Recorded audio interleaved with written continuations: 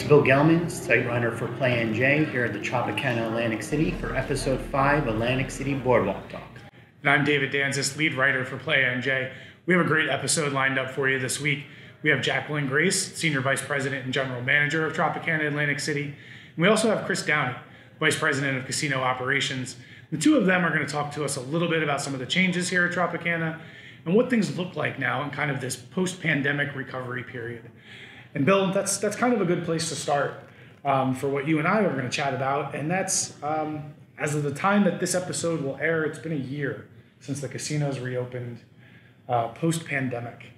Tell me a little bit about your thoughts about just what you're seeing when you walk through the casinos now, and, and do you do you sense a difference? Do things feel different? Yeah, I sense I wasn't down here for uh, the, the opening weekend when it reopened the beginning of July last year, but um, I spent a lot of visits, and what I noticed is like you had all the masks wearing, you had the plexiglass everywhere, you had to go through thermal body screenings. It was surreal. Yeah, was like they're open, but there's there, it doesn't have the same vibe. Right. And now, you know, you come in, it's like summertime, prime season. You know, people are people are. I I, I, check, I came in this this afternoon, and there was a bunch of people checking into their hotel room. So it's like summer in Atlantic City is back. Yeah, yeah, and you know, just kind of going back to that weekend uh, a year ago, you know, July second, the casinos were allowed to reopen. Not all the properties opened exactly that day. Some there was a little bit of uh, a staggering there, but it was almost it, it was this kind of weird uh, crossover between a celebration, right, of, of being happy to be reopened, and sort of a little bit of we didn't want to do it this way. Right. You know, it, it was a tough thing to, to have to, to, to work through. And, you know, we've mentioned in a couple of, uh, uh, of our other episodes, you know, we really have to tip our hats to the casino operators here in Atlantic City because they went above and beyond with these health and safety protocols. And, you know, obviously some people felt maybe they were a little onerous or a little over the top. Personally, as somebody who was in, in the casinos almost every single day while that was going on, I was grateful um, that things were the way they were because I felt safe when I came into these properties. Okay. Now you were uh, this time last year, weren't you at some of the properties that went like? Oh, I, I went to all of them. Uh, I, I, went to every single one of them as they opened. Um, that July second morning, um, you know, I started at Hard Rock. I jumped over to Nugget. I came back over here to the boardwalk and hit up a couple of the properties. And like I said, there, there was this this celebratory feeling mixed with almost uh, an uncertainty of how long is this going to last and, and how is this really going to work. Yeah. And it's so refreshing now, a year out, to, to walk through these properties and like you said, you know, seeing people walking through with their luggage and not wearing masks if they choose not to, if they've been vaccinated. And you know, there's still people wearing masks and that's okay too. And and it and it just feels like this is what we needed. We, we needed that return to normalcy. So with all of that being said, um, there, there are some some changes coming to the Atlantic City gambling market, and more specifically the sports gambling market. And I'm going to let you jump on a little of that. Um, but the state legislature made a made a big move yesterday, and, and we're going to see what happens with that going forward. Can you tell us a little bit about what's going on there? Yeah, pretty much what's going to happen is right now you cannot bet on college sporting events taking place in the Garden State, mm-hmm. or you cannot bet on uh, teams like Rutgers and Princeton, no matter where they're playing. Mm-hmm. So it's being put to the ballot in November, and it's been the one thing that's been missing from uh, in New Jersey sports betting that you know I didn't think it's at the point now where it's time to change things around. Yeah, and you know I, I don't want to get too far ahead of ourselves here. Um, I can't see any reasonable opposition uh, to this ballot referendum that, that will be on the New Jersey ballot uh, general election in November. Um, because it's an amendment to the state constitution, the voters have to approve of that. Um, I don't see the public having any issue with that. And, and part of that is because New Jersey did this the right way. Right. They took their time and they were deliberate when they implemented sports betting and they said, you know what? Let's see what this looks like without being able to bet on New Jersey teams and New Jersey events. And, and it worked fine. And then there's the other side of that where there are places where you can bet on colleges and there's no issues there either right? So we've seen both sides of this coin. Um, I think New Jersey is going to end up on, you know, very much like the Nevada side, where, where it's you can bet on on what you need to bet on. I also think that New Jersey is going to be the domino that once we put that into place where you can bet on college teams and college events, there's going to be several other states that currently have a similar prohibition that are going to that are going to pull back on that. Do you agree with that? Do you think New Jersey is going to be a, a lead dog there? Yeah, well, I think New Jersey, when it comes to sports betting, we sort of set the tone. Yeah, we. In terms of, you know, whether it be the handle, whether it be, uh, you know, with the uh, mobile sports betting launch, um, the, the types of betting. I mean, we're the first market to offer uh, betting on the Oscars. Mm-hmm. Yep. So it's uh, it would go right in hand with, with everything else. All right. Before we wrap up with this episode, um, we want to talk a little bit about um, what was really a big story for us in the past week or so, and, and that was a lot of the capital reinvestment by Caesars Entertainment here in Atlantic City.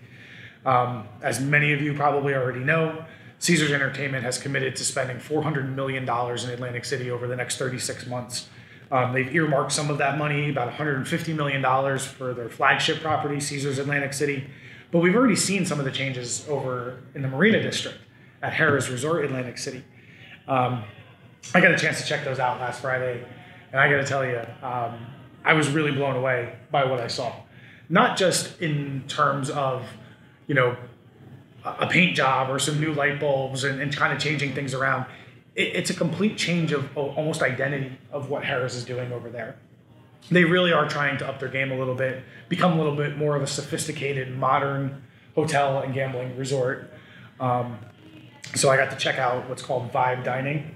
Right. And what, how, how was the food? How was the Yeah, scene? yeah. Well, I know your first question is what is Vibe Dining, right? Well, yeah. Isn't it like a little OMG? It is. It's a little OMG, right? So the so the best way that I can describe this is it, it combines really upscale ambiance, right, with high energy entertainment, mm. and I'm going to put up air quotes since you can see me, Instagram worthy food, right? That food that you do want to take a picture of and share and show your friends and sort of drum up a little bit of excitement and anticipation and.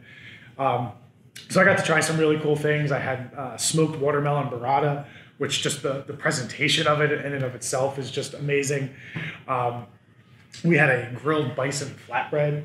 That's Yes, different. grilled bison. Yes, I, I love gamey meats. I'm a Is big that the fan first of duck. restaurant, first place in Atlantic City to find it? I think so. I think so. You know, I, I've done a lot of traveling in my day, so I've eaten gator and rabbit and all sorts of fun stuff. First time I've ever eaten bison, so uh, very, very good.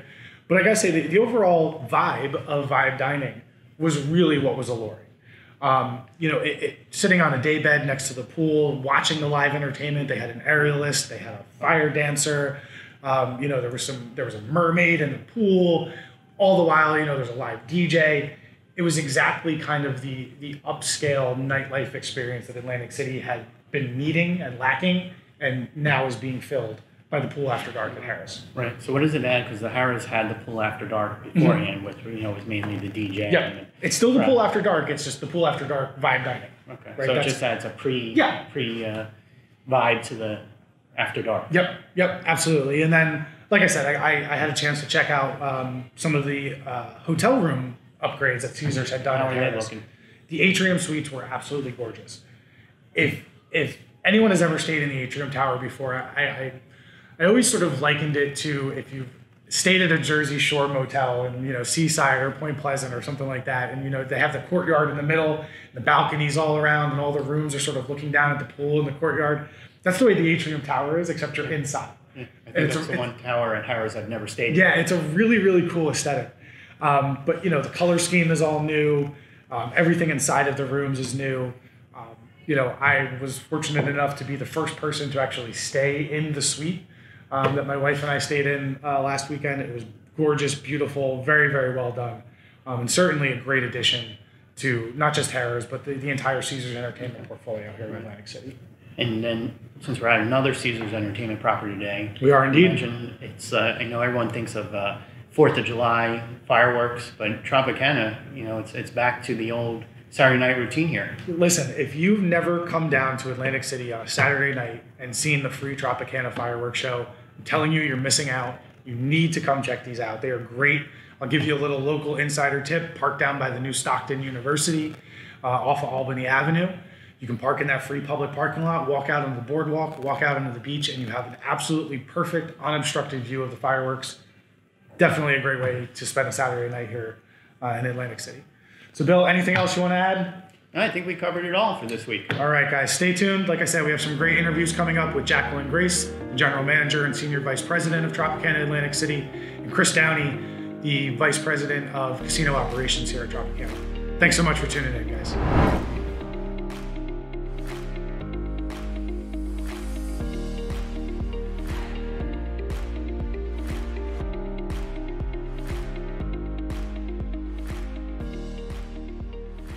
So I, we cannot be more excited about the way things are looking right now, right? As you can imagine, there's so much pent up demand and people are just happy to be out. So from a customer visitation and a volume perspective, we've seen a market increase, uh, particularly given all of the restrictions that have been lifted. And so again, we're just, we're thrilled.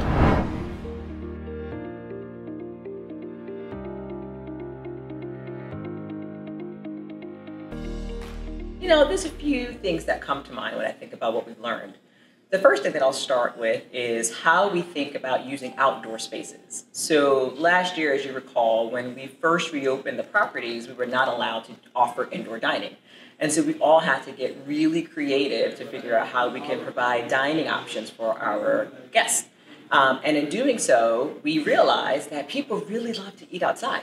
And so we were actually able to um, utilize the outdoor area at Chelsea 5.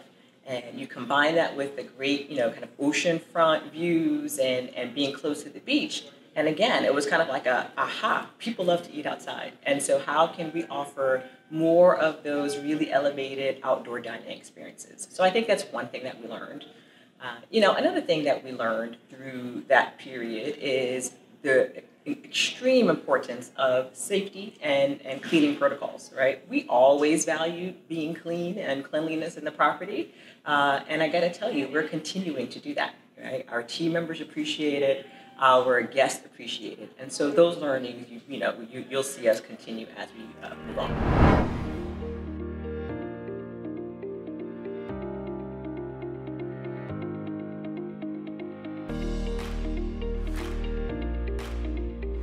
First of all, the fact that the company is investing $400 million in the market is just fantastic. Uh, you know, for Harrah's and Caesars, a lot of the investment is going towards hotel room renovations, casino floor renovations, food and beverage, things of that nature, and that we're super excited for our sister properties. Here at Tropicana, we've actually done a lot of that stuff in the past, and so we are focusing our capital investment on facilities and infrastructure, those types of things, right? It's the type of stuff that may not seem so sexy on the surface, but really makes a big deal to the operation. It will impact quality of life for our team members as well as our guests. So we're going to be doing, again, a lot of back of house stuff, elevator modernization, escalator modernization, uh, roofs, um, mechanical equipment. Again, not so fun and sexy, but super important to the operation. That said, that's the first phase. The second phase, you will see some front of the house improvements that I'll be able to share more on in the future.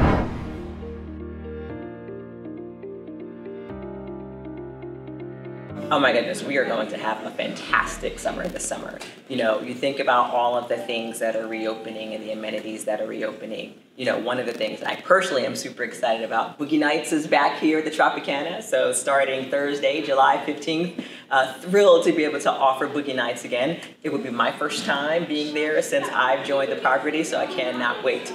But the fact that we are able to offer nightlife um, more food and beverage, not only in the property but within the quarter, I am just know for a fact that that's going to bring a ton of people here. So I just think our, our summer is going to be fantastic, and I can't wait.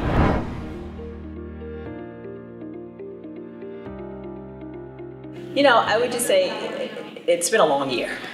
And it's a year that I know none of us ever want to uh, relive, but it's been a long year. And I'm so grateful for our team members, and I'm grateful for our guests who, you know, stayed with us through that time. Uh, grateful for all of our guests who are now deciding to revisit. Uh, and for those who are still on the fence, uh, I encourage you to come on out. Uh, again, we have so much to offer. Our team members are excited and cannot wait to see you, and we look forward to seeing you soon.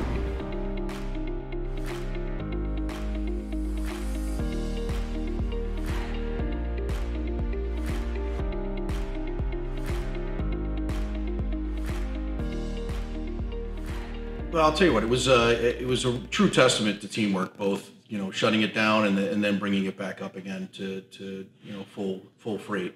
Um, you, you the uh, executive orders came out in piece in pieces. So I mean, at one point we needed Plex in certain spots, and then then then we needed it in different spots. And so the real challenge in the beginning was acquiring the plexiglass. I mean, it was it was hard to find it anywhere in the state. We had to go into uh, different markets that we normally would not have gone to for anything. We actually tapped the uh, yacht industry to get the, the, plexiglass that we needed. Otherwise, we never would have made the deadlines that, that uh, were required for the craps and the uh, the roulette partitions.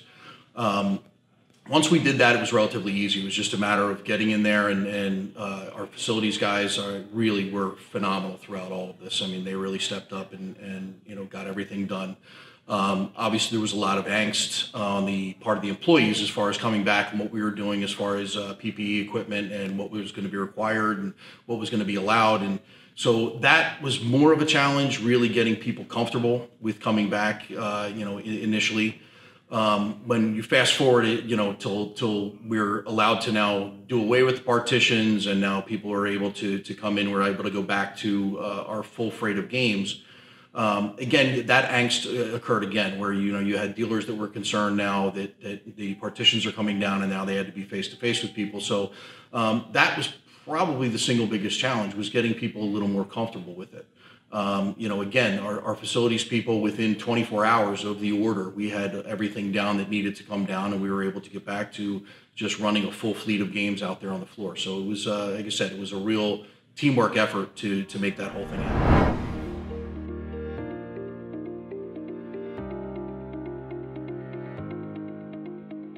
Dabbled in the electronic tables uh, long before we, we installed the Pulse Arena down there, and um, you know we found that that it almost was it was serving a, a market that, that, didn't really exist before, where is people that may be uncomfortable to go up and learn a table game. Um, you know that there there was an intimidation factor that the people who were at the game that knew the rules would you know would they would look down upon them not knowing necessarily what to do. So it really served as a training ground, and you know we really learned that with uh, with roulette, electronic roulette. So when we made the decision to install the Pulse Arena out there and, and really start you know uh, investing in that electronic table games arena, um, you know it, it couldn't have hit at a perfect time. I mean it hit with, within a month we were closed uh, for the for the COVID executive orders. Um, and really, what it did was it gave us the ability to offer lower limit tables, um, you know, to to to our clientele. And I mean, we that uh, arena was packed every single weekend. Um, again, the the real draw to it, I believe, is is more is more of the limits than anything. Um, but our single biggest uh, uh, game that's played down there, I mean, it's a multi a multi game. You have baccarat, you have blackjack, um, and you have uh, you have craps down there. Uh, the craps by far and away uh, blew away the other games as far as the, the amount of play on it, and I, I believe that's attributable 100% to people being uncomfortable walking up to a craps table and, and not necessarily knowing the rules and and starting to play. So. Uh, I think it, it's it's a really good addition for us. I think that going forward, you know, you're going to see some expansion in in, in that area. Um, you know, we're looking at uh, there's other other manufacturers out there now, Aruze and, and Interblock that have new products that are coming into the market that you know we, we think are really going to take off in the future. So you're probably going to see some expansion on our end with that uh, in the very near future.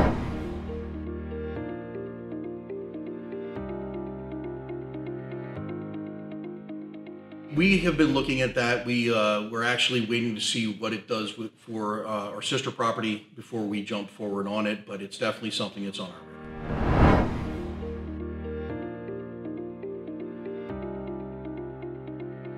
Okay, so we um, we struggled with poker and what to do. Um, you know, it being as as uh, a socially dependent game as it is, um, obviously with the restrictions that were in there, we had to be very careful about what we were going to do.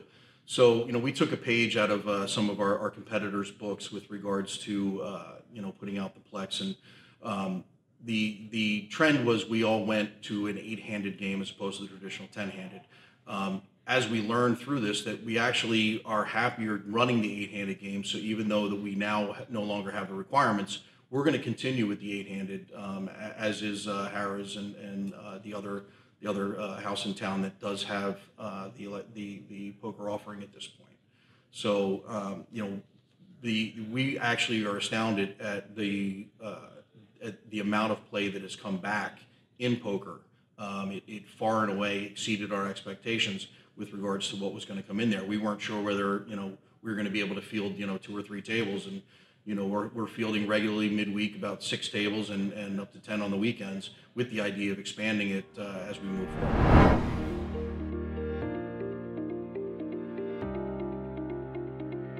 We've been discussing it. Um, you know, we're not sure I, at this point in time, you know, what direction we're going to head with that. But you know, it's definitely something that's on our radar. and It's something that's that's in our regular dialogue.